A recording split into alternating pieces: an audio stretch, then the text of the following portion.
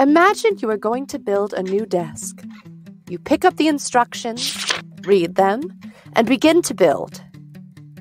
Now imagine that those instructions were written in a foreign language. It may take you longer to not only decipher the words, but also to comprehend what to do in order to start building.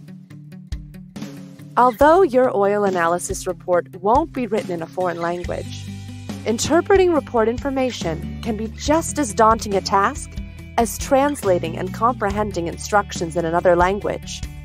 Proper training and education will help bridge the gaps in regard to unfamiliar terminology and test results.